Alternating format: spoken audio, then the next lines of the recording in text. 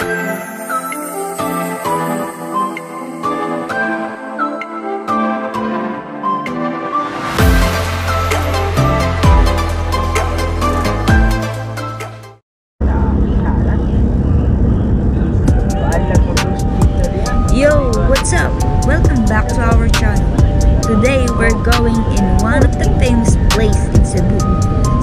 are you waiting for?